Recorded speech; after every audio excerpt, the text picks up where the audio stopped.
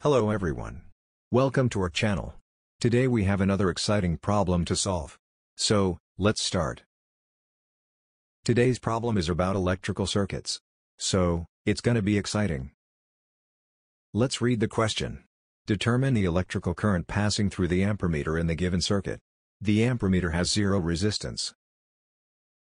Well, basically, we need to calculate what number the amperemeter shows. This current labeled by I in the picture. Notice that the two nodes A and B are connected just by a wire. This means a short circuit. So, points A and B are the same node without any voltage difference, which means the 4 ohm resistance is short-circuited. So, we can remove it from the circuit.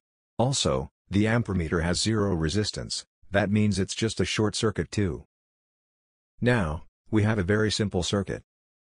The 10-volt battery generates current coming out of its positive edge going through the 2-ohm resistance.